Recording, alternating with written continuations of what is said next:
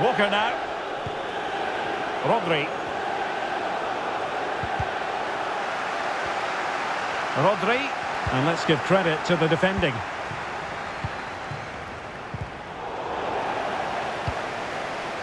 Thiago. Henderson has it. Another decent position for Liverpool to be... And a goal!